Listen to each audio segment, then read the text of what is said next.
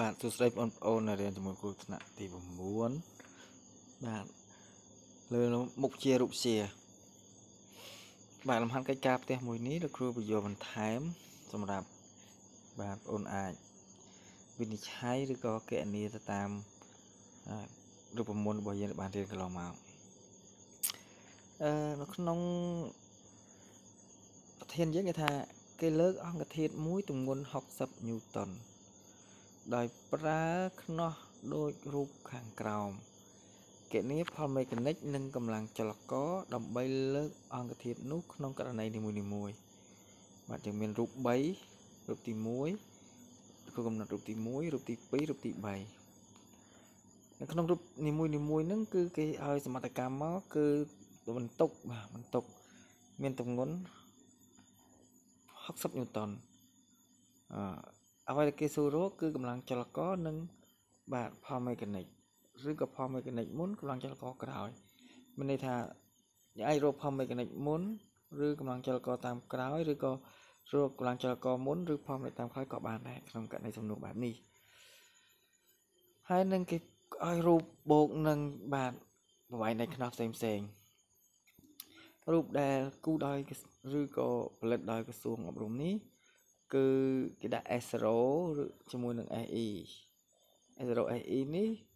ហើយកន្លែង S0 គឺមានតម្លៃបាទគ្រប់រូបទាំងអស់60ញូតុនទាំងអស់អញ្ចឹងបើយើងតាមរយៈមេរៀនកន្លងមក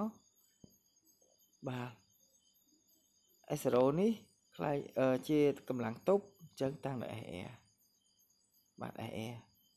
អែអ្វីដែលគេសួរគឺកម្លាំងចលករអញ្ចឹង SE ដែលត្រូវនឹង S អេអឺអញ្ចឹងគេបានដាក់តម្លៃបន្ថែមថាអឺប្រវែងនេះ120ប្រវែងនេះ8អ្នកវាយនេះប្រវែងពីអារង្វិលមកកម្លាំងចលករ8បាទប្រវែងពីកម្លាំងចលករទៅកម្លាំងទប់120សង់ទីម៉ែត្រអញ្ចឹងរូបនីមួយនីមួយនេះបាទរូបមន្តមិនខុសគ្នាទេគ្រាន់តែខុសតម្លៃអញ្ចឹងយើងពិនិត្យមើលបើសិនគេ បន្ថែមថាតើរូបទី1ជារូបទី1នេះជាជាខ្នោះប្រភេទអ្វី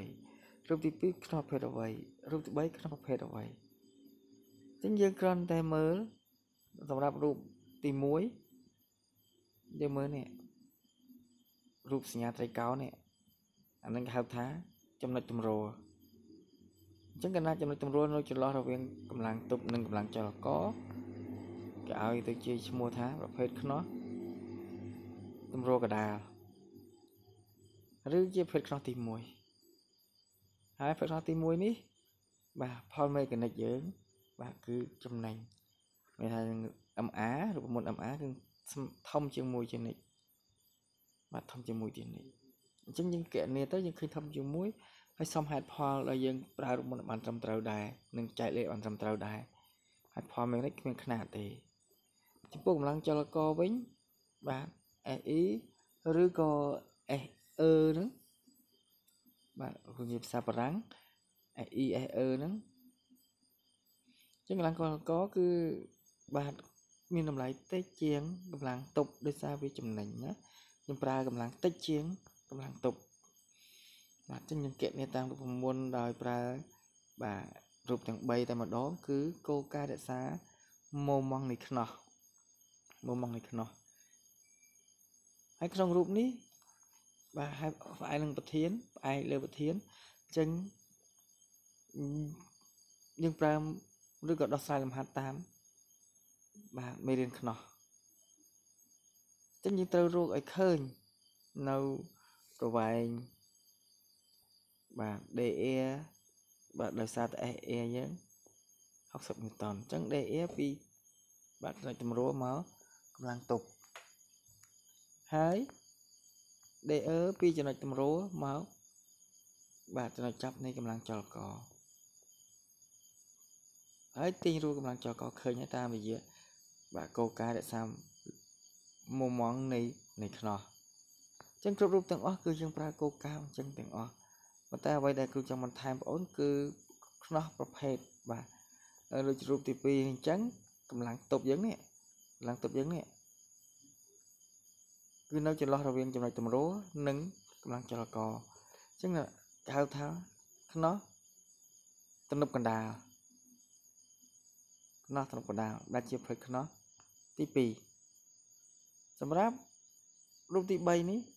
បាទយើងមួយចន្លោះចន្លោះនេះចន្លោះកណ្ដាលសំទោសមិនកណ្ដាលទេចន្លោះនេះណាចន្លោះរវាងចំណុចតម្រួទៅនឹងកម្លាំងបន្ទប់គឺកម្លាំងចលករអញ្ចឹងផ្លូវខ្នោះនេះគឺជាបាទ ខ្នោះប្រភេទទី3ដែលមានឈ្មោះថាឬមានឈ្មោះថាខ្នោះចលករកណ្ដាលបាទនេះជាប្រភេទទាំង3ហ្នឹងហើយគូបន្ថែមបន្តិចទៀតតកតកតងនឹងការរក form mechanic និង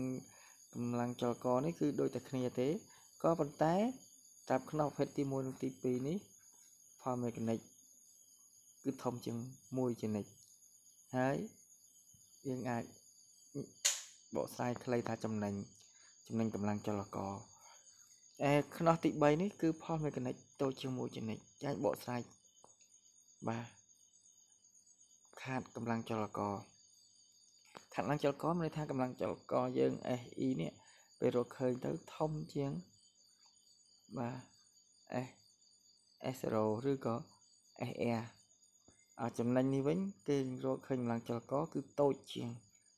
បាទតូចជាងកម្លាំងទប់ S0 ឬក៏ SR មានបាទមានតែប៉ុណ្្នឹងទេស្រាប់លំហាត់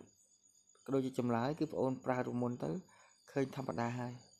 ហើយគេមិនបានឲ្យយើងបកស្រាយផលមេកានិកទេអញ្ចឹងលោកគ្រូបញ្យល់បងអូនលំហាត់នេះបែបអឺនឹងដើម្បីឲ្យបងអូនរៀនធ្វើហើយអឺមើលវីដេអូក្រោយទៀតតកតងនឹងបាទរូបណាខ្លះ ដែលគេហៅថាខ្នោះអ្វីខ្លះនឹងបាទជូនបងប្អូនសម្រាប់អ្នកកិតខំរៀនសូត្របាទទទួលអនុល្អនាពេលខាងមុខនេះបាទសូមអរគុណសូមជម្រាបលា